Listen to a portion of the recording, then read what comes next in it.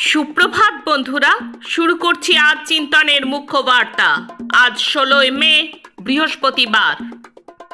আজকের আন্তর্জাতিক খবর, বিশ্বযুদ্ধ আবহে নতুন রেকর্ড। গাজায় চলমান যুদ্ধের জেরে এখনও পর্যন্ত সাত কোটি মানুষ উদ্বাস্তু। ইরানের নটি ক্ষেপণাস্ত্রই আমেরিকার বুকে কাঁপন ধরিয়ে দিয়েছে। ইসরায়েলকে অস্ত্র সরবরাহ বন্ধের এটাই মূল কারণ বলে মনে করছেন রাজনৈতিক বিশেষজ্ঞেরা। ইউক্রেন যুদ্ধের ইতি টানতে এবার আলোচনায় বসতে সম্মত হলেন পুতিন। চীন সফরের আগেই সাই দিলেন জিনপিং এর প্রস্তাবে। আমেরিকার প্রণালীতে জাহাজের ধাক্কায় ভেঙেছে সেতু দু মাস অতিক্রান্ত, আইনের বেড়াজালে আটকে কুড়ি ভারতীয়। প্রশ্ন উঠছে মুক্তি কবে? স্লোভাকিয়ার প্রধানমন্ত্রী গুলিবিদ্ধ, পাকস্থলিতে গুরুতর আঘাত নিয়ে ভর্তি হাসপাতালে। বিদ্রোহীদের রুখতে মরিয়া মায়ানমারের জুনটার সামরিক সরকার জোর করে রোহিঙ্গাদের ধরে ভর্তি করানো হচ্ছে সেনাবাহিনীতে।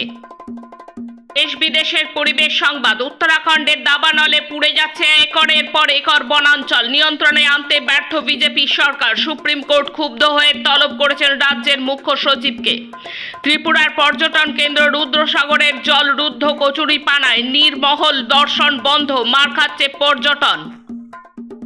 সমুদ্রে মারা যাওয়া বিশাল তিমি মাছদের কি হয়? বিজ্ঞানীরা জানিয়েছেন, জম্বি পোকার দল তিমির মৃতদেহ খেয়ে ফেলে।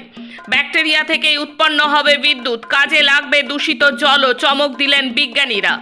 মানুষের মতো হামিং বার্ডদের মধ্যেও আছে লিঙ্গ বৈষম্য। পুরুষ হামিংদের হেনস্থার হাত থেকে বাঁচতে মহিলা হামিং বার্ডরা রং বদল করে, জানালেন পরিবেশ বিজ্ঞানীরা। দেশের নির্বাচনী সংবাদ। ভোটের মধ্যেই তিরস্কৃত দিল্লি আদালত নিউজ ক্লিকের এডিটর প্রবীর পুরকাস্তর গ্রেপ্তার বেআইনি, অবিলম্বে মুক্তির নির্দেশ দিল সুপ্রিম কোর্ট। চারশো আসনে জিতলেই ভারতে ফেরানো হবে পাক অধিকৃত কাশ্মীর, বললেন আসামের বিজেপি মুখ্যমন্ত্রী হেমন্ত।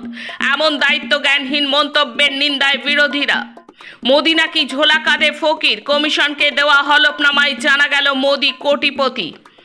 ভোটের মধ্যে ইডির হাতে গ্রেপ্তার ঝাড়খণ্ডের মন্ত্রী আলমগীর আলম। ইন্ডিয়া প্রার্থীদের জয়ী করুন হরিয়ানার মহল্লায় মহল্লায় প্রচারে সিপিআইএম। বাকি বিশ্বের কাছে সেই অর্থে ভারত এখন আর গণতান্ত্রিক দেশই না। জেলে থাকা রাজনৈতিক নেতাদের কাউকেই দোষী সাব্যস্ত করতে পারেনি মোদী সরকার, পর্যবেক্ষণ আন্তর্জাতিক রাজনীতিবিদদের। রেশন নিবি আর ভোট দিবি না, দলিতকে রাস্তায় ফেলে পেটাচ্ছে পুলিশ, সামনে এলো উত্তরপ্রদেশের বেরিলির ঘটনা। অন্যান্য খবর, এবার বিজেপি শাসিত মডেল রাজ্য গুজরাট দশ লক্ষ টাকা দিলেই নিট পাস। ডাক্তারি পরীক্ষায় বড় দুর্নীতি অভিযোগে ধৃত শিক্ষক, এখানেও প্রশ্ন, মাথা কে? খেলার খবর, টোকিও অলিম্পিক্সে সোনা জয়ের পর ফেডারেশন কাপে প্রথমবার ভারতের মাটিতে খেলতে নেমেছিলেন নীরজ চোপড়া। সোনা জিতলেন বিরাশি পয়েন্ট দুই সাত মিটার দূরে, জ্যাভলিন ছুড়ে। নব্বই মিটার পার করার লক্ষ্য পূরণ হলো না নীরজের। মুম্বাইতে রিলায়েন্স ফাউন্ডেশন ডেভেলপমেন্টাল লিগের ফাইনালে পৌঁছলো ইস্টবেঙ্গল ফুটবল জুনিয়র দল। এই লিগের সেমিফাইনাল ছিল মঙ্গলবার। সেখানে মুখোমুখি হয়েছিল ইমামি ইস্টবেঙ্গল ক্লাব এবং মুত্তু ফুটবল একাডেমি। নির্ধারিত সময় ম্যাচের ফল তিন তিন থাকায় খেলা গড়ায় ট্রাইবেকারে। শেষ পর্যন্ত চার তিন গোলে প্রতিপক্ষকে পরাজিত করে ফাইনালের টিকিট হাতে পায় লাল হলুদ বাহিনী। আজকের মুখ্য বার্তা এই পর্যন্ত। নমস্কার।